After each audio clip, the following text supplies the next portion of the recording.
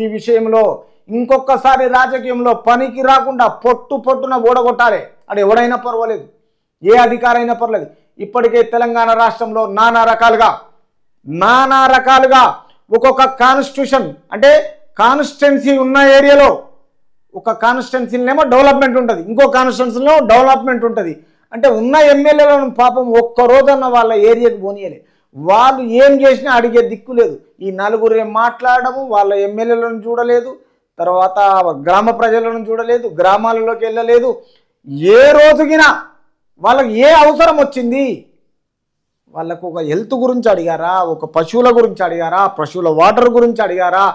వాళ్ళ ఆరోగ్యాల గురించి అడిగారా? స్టూడెంట్స్ గురించి అడిగారా? పరామర్శించారా? ఏంది? ఇంత ఘోరమా? వాళ్ళకు ఒక బస్సు సౌకర్యం ఉందా? ఒక రోడ్లు ఉన్నాయా? ఏదన్నా పట్టించుకున్నారా? ఒక్కరోజన చూశారా? మీ అవసరానికి మీరు హీరోలు అయిపోయారు మొత్తం కుటుంబ పరిపాలన. అయిపోయి లాస్ట్కి వచ్చి తెలంగాణ రాష్ట్ర ప్రజలకు మంచిగా గుండు టోపి కొట్టించేసారు కాబట్టి జరిగిన పనులనే కొత్తగా చేసినట్లుగా నమోదు చేయడము సామాగ్రి కొను కొనకుండానే కొన్నట్లుగా. అంటే ఓన్లీ బిల్లులు టెంపరవరీ బిల్లు జిఎస్టీ చూసుకోవాలి బిల్లులు పెట్టుకోవాలి కొనకుండానే బిల్లులు సంపాదించుకోవాలి పైసలు డెబిట్ రాయాలి తీసుకోవాలి. అంతకు దిగదారి వీళ్ళు. తర్వాత కొనుగోలు చేసిన పరికరాలు వినియోగించకుండా పక్కన పడేయడం. అంటే కొనుగోలు చేసినవి ఏంటంటే మళ్ళీ తిరిగి అది వాపస్ ఇస్తారా? ఇది ఒక మెడికల్ హాల్ అనుకుంటున్నారా? ఏంది అర్థమైతలేదు. అవి యూజ్ చేయకుండా పర్లేదు. మళ్ళీ తిరిగి మెడికల్ హాల్ వేస్తే డబ్బులు వస్తాయి. మరి ఇట్లాంటి పరికరాలు కొనకుండా పని చేయించుకోకుండా ఆ పరికరాలకు పని చెప్పకుండా ఏం చేసిరు ఎక్కడ బారేసిరు అంటే ఇది అడిషనల్గా ఇంకో కొత్త గేమా ఇది? పక్కన పడేయడం వంటి జరిగాయని ఫిర్యాదులు వచ్చిన నేపథ్యంలో విజిలెన్స్ విచారణ జరిపించాలని నిర్ణయానికి సర్కార్.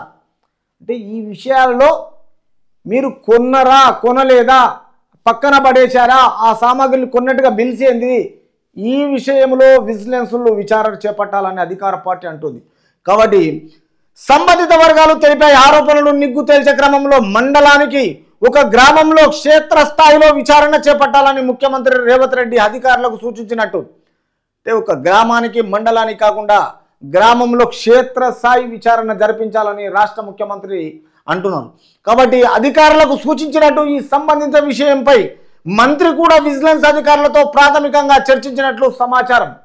అంటే ఈ విషయంలో కొనుగోలు చేసిండ్రు బిల్లులు పెట్టిండ్రు దొంగతనంగా ఖర్చులు ఎక్కువైపోయినాయని నానా రకాలుగా కోట్ల రూపాయలు దండుకొని బాగా మొత్తము తెలంగాణ ప్రజలను మోసం చేసిరు కాబట్టి ఇప్పుడు ఉన్న ముఖ్యమంత్రి ఏమంటున్నారంటే ఈ విజిలెన్స్ విచారణకిన ప్రతి గ్రామానికి ప్రతి మండలానికి క్షేత్రస్థాయి విచారణ జరిపించాలని అంటున్నారు. కాబట్టి ఈ విషయంలో ప్రజలు చూస్తారు వీళ్ళను ఏం చేసిండ్రు వీళ్ళు?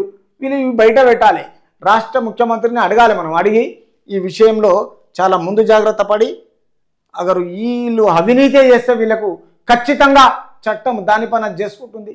మీరు ఖచ్చితంగా పరి ఈ విషయంలో చాలా స్ట్రిక్ట్గా ఇన్స్ట్రక్షన్స్ ఇచ్చి తప్పు చేసిన ఎవరికైనా శిక్ష వేయాలని తెలంగాణ రాష్ట్ర ప్రజల తరపున మన నైండి తరపున చెప్పడం.